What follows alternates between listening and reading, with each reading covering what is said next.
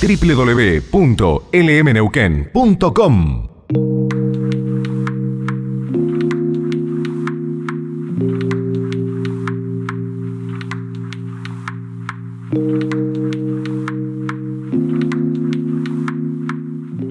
Pablo, ¿qué tal? Gracias por recibirnos. Al contrario, muchas gracias a ustedes por venir acá a Copade. En el Copade. Eh, ¿Qué cambios planteaste cuando ingresaste?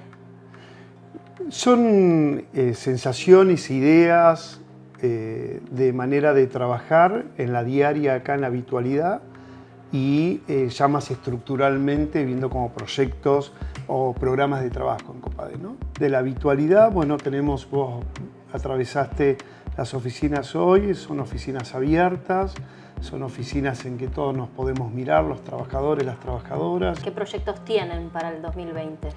Fomentar aún más el, el sector de ciencia, tecnología e innovación. Nosotros hemos hecho una fuerte apuesta a la creatividad, la innovación, el diseño. Vamos a tratar también de llevar al COPADE a las fiestas populares que hay en todo el verano, porque nos interesa recoger esas miradas microculturales de las fiestas populares que viene apoyando fuertemente turismo, por ejemplo, en la provincia de Neuquén, para ver también qué herramientas podemos ofrecer en fin, tenemos una serie de, ideas, seguir con la publicación de libros. Nosotros estamos, esta guía que te, te di un ejemplar hace un ratito, Cultivar en la Ciudad, es la síntesis de un trabajo que venimos haciendo articulado en distintas áreas de gobierno. Teniendo en cuenta justamente eso, ¿no? que este es un organismo desde donde se eh, salen eh, aportes económicos, en este caso contados municipios, sí, pero con el CFI tenemos con el CFI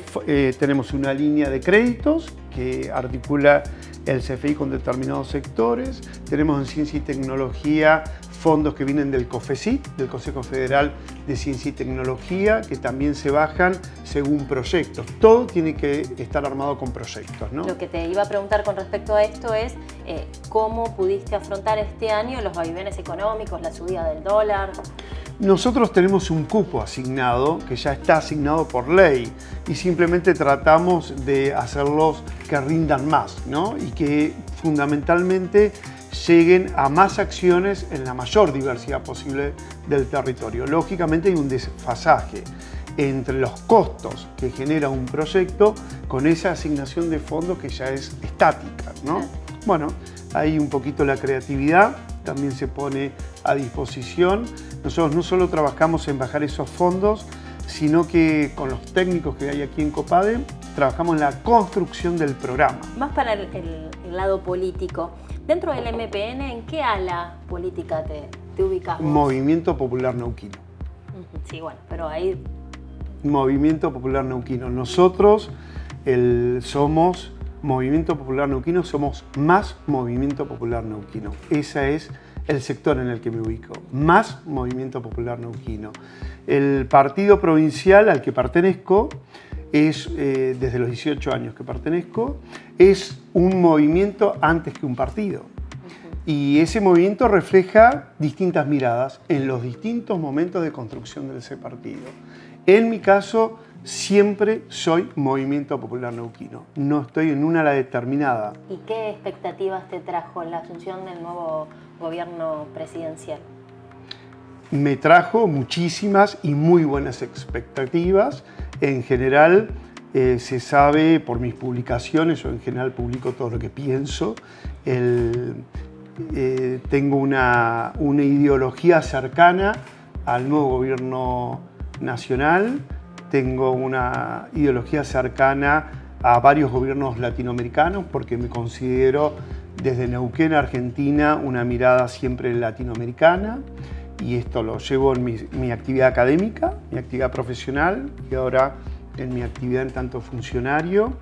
Eh, palabras como solidaridad, palabras como ciudadanía, palabras como expresiones como priorizar a los vulnerables, a los sectores vulnerables.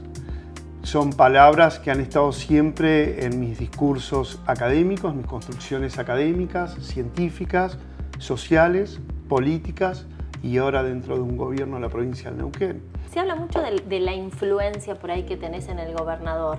Eh, él eh, ¿Te consulta cosas académicas cuando tiene que tomar decisiones importantes? No, me consulta de COPADE. De COPADE. Y soy una voz más dentro de todas las voces del gobierno. ¿Por qué tu doble apellido? En tu hermano no, por ejemplo. En mis hermanos. Somos cuatro, somos cuatro hermanos. Omar, el gobernador, que tiene un año más que yo, tiene 52 años, yo tengo 51 años. Luego viene Gerardo y César, somos cuatro hermanos. De los cuatro hermanos sí soy el único que tiene el apellido Colantuono.